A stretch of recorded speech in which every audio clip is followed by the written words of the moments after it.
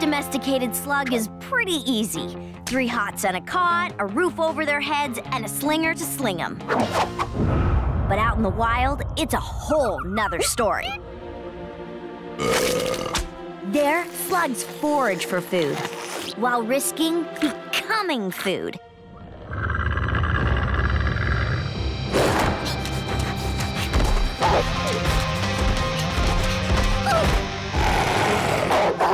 In the wild, it's not uncommon to see different kinds of slugs band together out of necessity, each species contributing to the good of the group.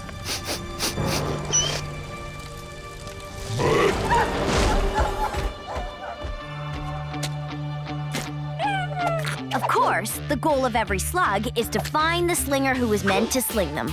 Once that happens, everything else is just gravy. Delicious slug chow gravy.